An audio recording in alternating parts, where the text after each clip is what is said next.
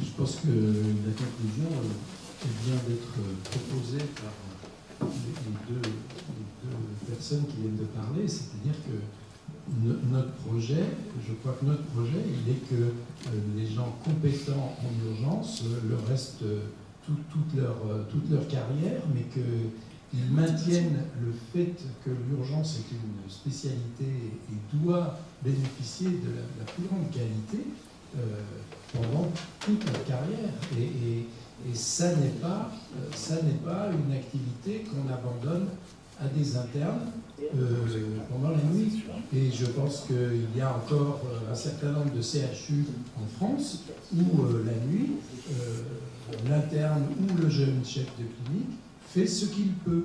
Et je pense que ce n'est plus possible d'accepter ce genre de montage. Voilà, c'est une conclusion un peu dure, mais réaliste. Merci. Avant de remercier les, orateurs, les modérateurs pour cette très belle séance, il y a le problème du procès verbal quand même.